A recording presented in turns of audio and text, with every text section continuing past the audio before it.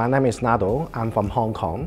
I study Bachelor of Architectural Engineering and at the moment I'm studying PhD in Victoria University, Melbourne, Australia. I wanted to study architecture design and engineering, but there's not many universities that offer both components in one degree. In fact, Victoria University is the only university in Australia that offer architectural engineering in bachelor degree. When I arrived in Melbourne, the orientation in Victoria University is really welcoming and really informative. I got all the information I need to living in Melbourne. At the same time, I met a lot of friends from all over the world. My bachelor degree is fantastic. In Victoria University, they got small class sizes, and you have a chance to know your teachers and your classmates really well. I studied both traditional and the new block model.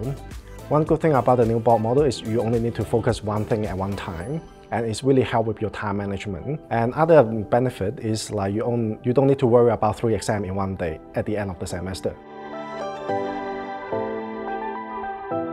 VU has a lot of great student service. The first service I use is the VU Employ, which give me some advice on resume and interview tips, and it's how I get into the industrial mentoring program.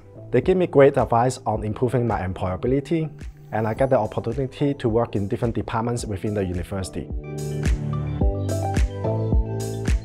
VU also has good industrial connections.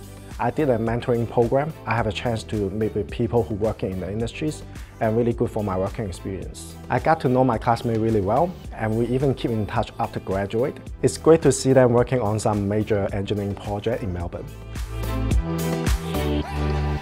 In my final year, my supervisor encouraged me to go deeper in research, and that's why I decided to do the PhD. My PhD project is focused on livable urban planning. In the city, the temperature usually is higher, so we rely on air conditioning, which have high energy consumption and high carbon emission. So I'm investigating more sustainable solutions, such as increasing vegetation coverage and better building materials. In the future, I would love to collaborate with academics on the international level to help build a more sustainable world.